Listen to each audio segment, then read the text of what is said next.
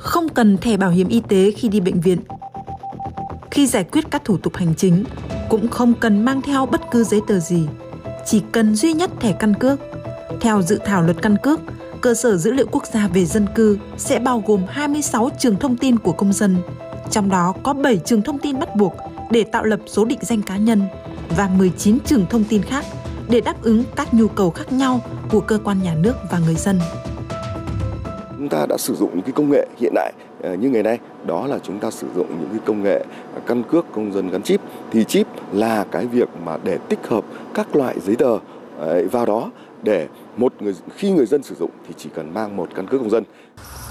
Theo dự thảo luật, sẽ không còn việc lấy vân tay của công dân khi cấp căn cước, thay vào đó là sử dụng mã QR để liên kết với cơ sở dữ liệu quốc gia về dân cư. Một số thông tin trên thẻ như số thẻ căn cước, dòng chữ, căn cước công dân, quê quán, nơi thường trú, chữ ký của người cấp thẻ sẽ được sửa thành số định danh cá nhân,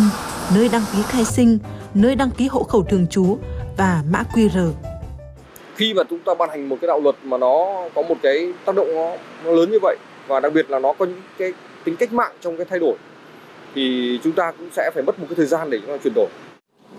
Tiện ích như vậy, thế nhưng nếu ai đó làm rơi chiếc thẻ căn cước này thì sao ạ? Liệu có thể bị à, một người nào đó đánh cắp các thông tin cá nhân, sử dụng và nhiều mục đích khác, trong đó có cả những mục đích vi phạm pháp luật. Thế nhưng theo khẳng định của Bộ Công an thì quý vị khán giả có thể hoàn toàn yên tâm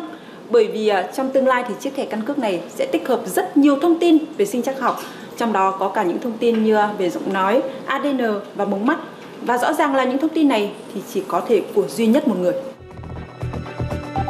Theo Bộ Công an, việc đổi tên luật thành luật căn cước được xây dựng dựa trên cơ sở có bổ sung đối tượng được cấp thẻ căn cước và đối tượng được cấp giấy chứng nhận căn cước là người gốc Việt Nam đang sinh sống tại Việt Nam nhưng chưa xác định được quốc tịch